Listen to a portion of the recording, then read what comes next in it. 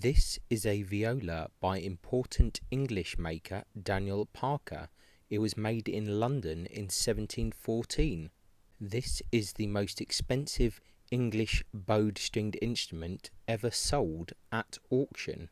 It was sold by Brompton's of London on October the 31st, 2022.